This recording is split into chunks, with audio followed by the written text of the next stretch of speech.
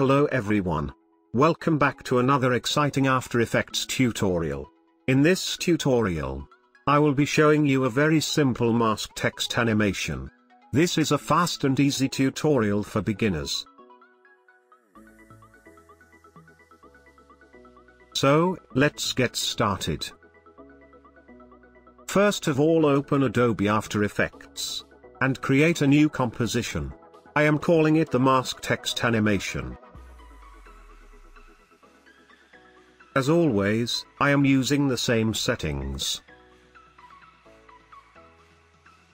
Now, go to Layer, then New, and select the solid.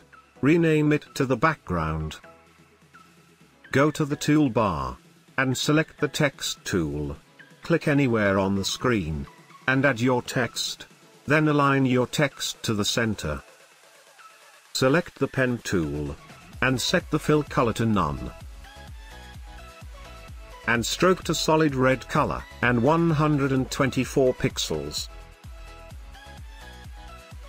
Now, create a shape. Under the shape layer, click this little add button, and choose trim paths. Under the trim paths, add a keyframe on the end value, and change the end value to 0%. Go to about 6 seconds on the timeline, and change the end value to 100%. Select the shape layer, and press U to reveal all keyframes. Select both keyframes. And go to Keyframe Assistant. And choose Easy Ease.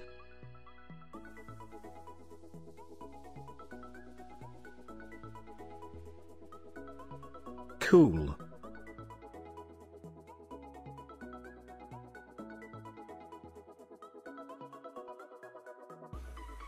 Select the text layer. Go to Track Matte. And choose Alpha Inverted Matte.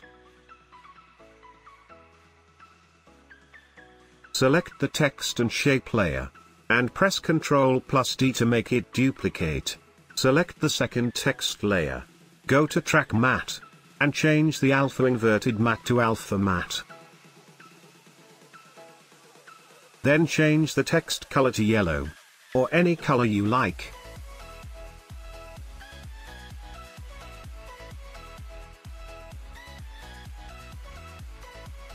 Now, select the shape layer. And make it duplicate. Drag and drop just above the background layer. And then unhide it. Cool. It looks amazing to me.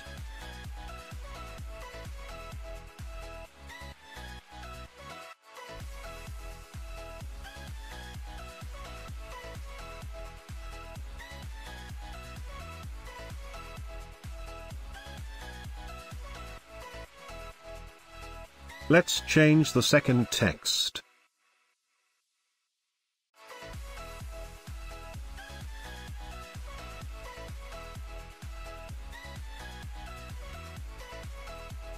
Cool.